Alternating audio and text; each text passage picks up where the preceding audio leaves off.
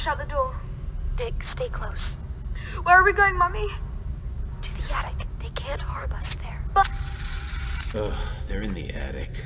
I should have known.